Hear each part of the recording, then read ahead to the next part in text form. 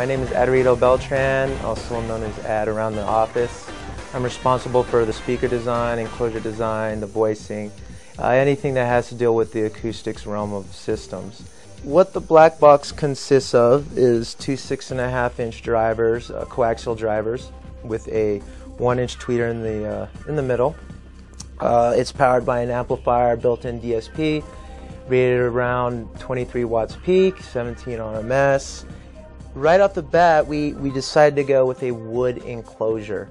Uh, one thing I can say as an acoustic engineer is by far using a wood enclosure over plastics is, is much better. It was built from the bottom up, so this was just not taken off a shelf. Everything from the magnet all the way up to the gasket was all designed hand in hand so that they all complement each other. In the front panel, it's a nice steel front panel with a three and a half millimeter input jack.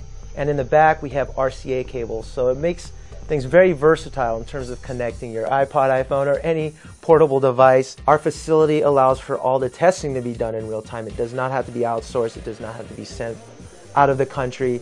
We have our own 4 pi anechoic chamber that we can do all our measurements in. We have our own set of mechanical engineers, electrical, hardware engineers, all in-house, which makes the design of this almost, if not, it is real time.